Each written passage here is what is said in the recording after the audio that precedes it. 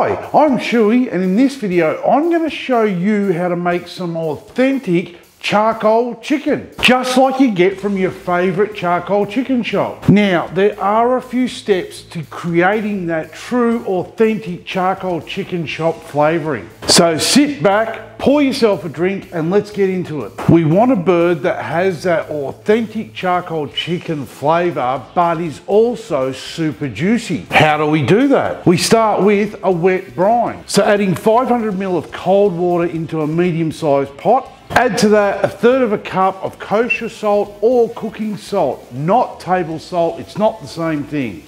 And that's our brine. Water and salt, that's all you need. From now on, everything we add is just for flavour. Add the zest off one lemon, the juice of two lemons, and throw the rinds in as well.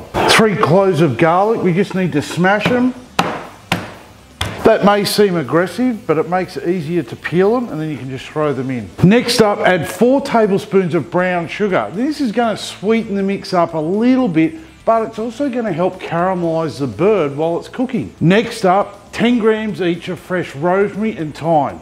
We want to get this on the heat and get it to the boil as quickly as we can. And we're just going to keep stirring it until we dissolve all that salt and that sugar. And just keep stirring it until all that sugar and salt has dissolved. Did you know Schuey's Barbecue has a Facebook page? Why don't you jump over, join the page. There's plenty of people on there just like you sharing their cooks and having a good time. Cheers. So our brine's just got to the boil, all the sugar and the salt has dissolved. Get it off the heat and we want to cool it down nice and quickly. So we're going to add one and a half litres of cold water to that brine. Now that is still a little warm, so we just need it to fully chill down before we can put our chicken in it. Now that the brine is fully cool, place the chook in a sealable container. Then add the wet brine over it. Making sure it's completely covered, seal it up and put that in the fridge overnight. Yes, overnight. Preparation is the key for this charcoal chicken recipe. So make yourself a burger for tonight's dinner because you're not having chicken. Today, I'm gonna be using my 57 centimeter Weber kettle and I'm also going to be attaching my rotisserie to cook this chook because Charcoal chicken should be spinning while it's cooking. So I'll fill a chimney starter with lump charcoal and light it up once it's fully ashed over, I'll grab my baskets, I'll place them together in the center of the, of the charcoal grate and I'll dump that charcoal in.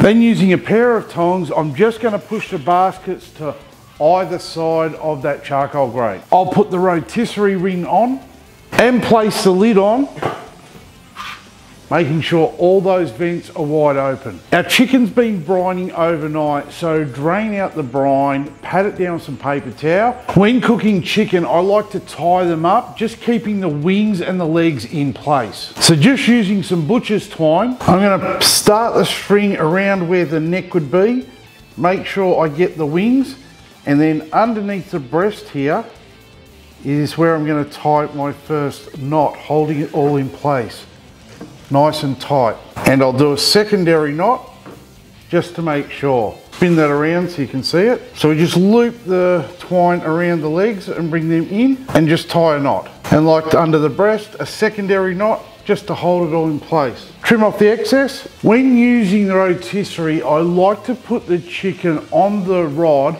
over a bowl. It just makes things a lot easier. And when you're using the seasoning, it helps with cleanup. So just place the chicken like that, put the other rod in. We want to put the bird in the center of the rod so it's in the middle of our charcoal. And we can see that we've got these two grooves that show us how wide the rotisserie ring is. So we just need to move the bird over a little bit. And that's about right. And we can now tighten up both the thumb screws. How simple was that? Nearly as simple as giving this video a thumbs up. It's now time to add some more authentic charcoal chicken flavouring. And the great people out at Atomic Chicken have released this charcoal chicken seasoning. Now, if you can't get a hold of this seasoning, I feel really bad for you, but you can still use your favourite chicken rub. But first, let's brush the chicken with some melted butter. And see how this bowl is already coming in handy? We're not creating a big mess. The bowl's catching everything. Perfect. Nice little tip. Next up, we're gonna give it a good coating of the Atomic Chicken Charcoal Chicken Seasoning. We can now place the bird into the Weber. We turn the motor on, making sure the chicken is in between those two charcoal baskets. No, we're not gonna watch it spin. We'll place the lid back on, keeping the lid vent to one side of the chicken so it cooks evenly. You can also put a foil tray in between those two charcoal baskets and that'll make your cleanup a lot easier. Surely you've subscribed to the channel by now and hit that bell notification. That way you'll be notified every time I upload a new video. We are cooking with a high indirect heat today of around 240 degrees Celsius. Cooking a chicken this way can take anywhere from an hour to an hour and a half. It really depends on how big a chicken you have. Or for those of you out there who like to use my beer timer, you're looking at a three beer cook. Cheers.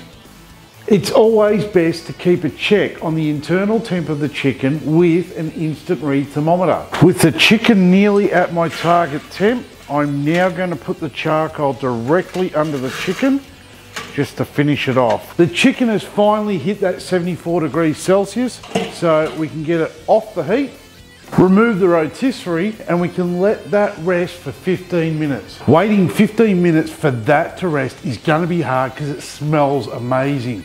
But you know what we can do in that time? You could share this video with a mate and then they could cook this for you. You could sit back and have a few drinks. Oh, look at that. That is perfect. That skin is perfect, nice colour. The smell coming off this reminds me of my local chicken shop. Cheers for watching. Thanks everyone. Oh, yum.